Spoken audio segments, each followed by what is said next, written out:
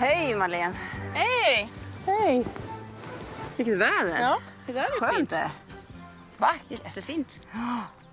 Mår du bra också? Ja, jag mår bra. Ja.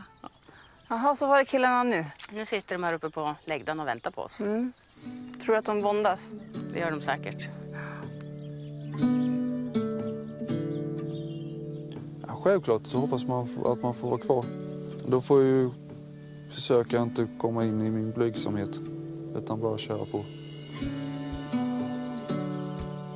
Stämningen här på gården, det är, såklart är det nervöst. Det är det nog för alla. Jag tror att det blir jag som åker hem idag, tror jag. För eh, Andreas och Mats, jag tycker att de tar för sig mer på gården och platsar in mer på gården liksom. Men känns det lätt för dig? Är det lätt, lätt att göra ett val idag? Nej, det är jättesvårt. Jag tycker om alla tre.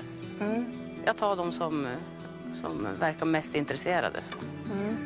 Ja, men det låter bra. Ja, ja, men vi går upp dit då, och så pratar vi med dem. Det gör vi. Jag höra vad de har att säga också.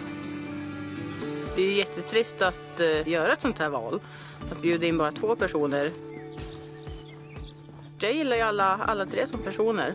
De har olika egenskaper och är väldigt trevliga människor. Hej! Hej! Hur är läget? Det är bra. det är bra. Vilka fina dagar. Ja. De är inte helt fel. I alla fall när jag är här. Ja. Skiner solen här kommer solen. Jaha, och hur har det varit sen sist, Mats? Ja, det har ju bra tycker jag. Ja. Man har väl provat att öppna upp sig lite mer då. Ja. Visa vad man tycker och tänker. Och hur känns det? Ja, det känns väl bra. Att man har tagit tag i det och försökt prata mer om känslor då. Mm. Så vi får väl se hur det går. Ja, Madeleine kan bara bjuda in två. Mm. Mm. Ja, ja, men då får du börja då.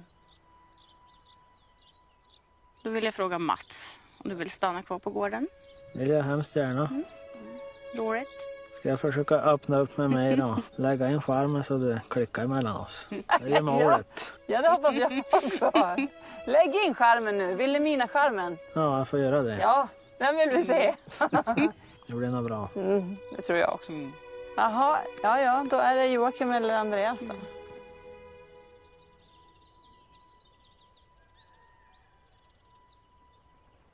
Då vill jag fråga Andreas om du vill stanna kvar på gården. Självklart. Roligt. När Marlene bjöd in mig så blev jag både lättad och glad. Försöka visa mer vem jag är och vara öppna med mer. Jättebra. Kändes som att jag skulle få en andra chans. Jaha, Joakim, blir du ledsen nu? Alltså, mm, det har inte riktigt klickat och mm, enligt mig så var det ganska väntat. Det Ja. var det. Ja, det var det. Klart det är tråkigt. Man vill ju lära känna Marlene bättre. Får vi önska dig en fortsatt trevlig sommar. Och lycka till med kärleken, Ja. Joakim. Det jobbigaste att gå härifrån det är att ja, lämna gården och lämna Marlene. Hej då. Hejdå. Och alla djur som finns här. För det har verkligen varit fantastiskt här ute.